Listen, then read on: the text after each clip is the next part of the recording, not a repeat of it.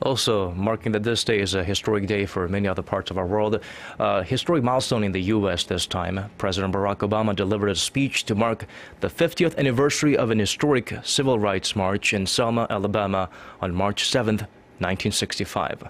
On that day, which came to be known as Bloody Sunday, black demonstrators took to the streets to campaign for equal voting rights, but were brutally attacked by security forces in the city.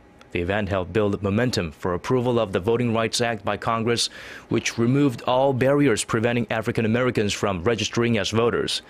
Obama said the marchers had opened the doors of opportunity not just for African Americans but for every American, and that they had given courage, given courage rather to millions. While acknowledging that progress has been made in race relations, he called on Americans to stay on course, saying, Our march is not yet finished, but we are getting closer.